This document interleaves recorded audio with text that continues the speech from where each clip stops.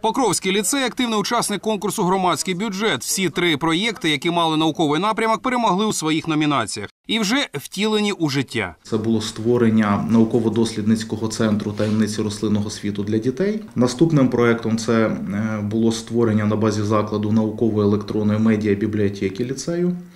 Е, Третім проектом в минулому році було створення інноваційного простору сучасної науки EduScience, де ми е, закупили чотири сучасні потужні е, інтерактивні панелі, Наступним кроком для навчального закладу стала розробка проєкту з проведення пікніка науки. Сказано зроблено завдяки черговій перемозі у громадському бюджеті у травні наступного року. Ліцей зможе провести фестиваль інтелекту, знань та інновацій. Запросити організатори планують відомих науковців, представників підприємств, юних дослідників з технічних дисциплін. Захід проводитиметься на свіжому повітрі в одному з парків міста і буде присвячений Дню знань. Будуть працювати різноманітні локації, де і діти, і дорослі, студенти, і будь-які зацікавлені особи зможуть знайти для себе якісь нові знання, нові, новий досвід здобути, е, нові розваги, нові знайомства. Можливо, для учнів це буде таким поштовхом до їхньої профорієнтації, вибору професії. Вони зможуть спробувати подивитися, як працюють та або інша галузь наукова.